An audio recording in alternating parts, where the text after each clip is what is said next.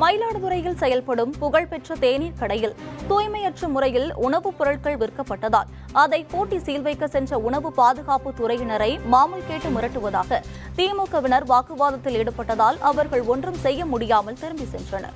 மயிலாடுதுறை சின்னக்கடை வீதியில் உணவு பாதுகாப்பு துறை தலைமையில் நகராட்சி மற்றும் மருத்துவத்துறையினர் ஆய்வு மேற்கொண்டனர். அப்போது அப்பகுதியில் புகழ்பெற்ற ஒரு தேநீர் கடையில் பஜ்ஜி போண்டா உள்ளிட்ட உணவு பண்டங்கள் சமைக்கப்பட்ட பயன்படுத்தப்பட்ட எண்ணெய் நீண்ட நாள் பயன்படுத்தப்பட்டதும் எண்ணெய் மிகுந்த உணவு பண்டங்களை செய்தித்தாளில் வைத்துக் கொடுப்பதும் தெரிய வந்ததால் கடையை பூட்டி சீல் வைக்கப் போவதாக அலுவலர்கள் கூறினர்.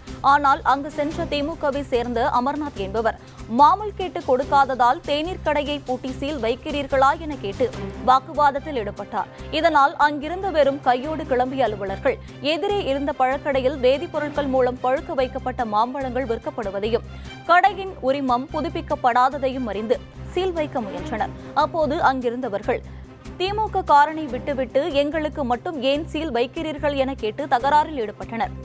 இருதரப்பும் மாறி மாறி தங்களை திட்டியதால் உணவு பாதுகாப்பு துறையினர் எந்த நடவடிக்கையும் எடுக்க முடியாமல் திரும்பி சென்றனர்.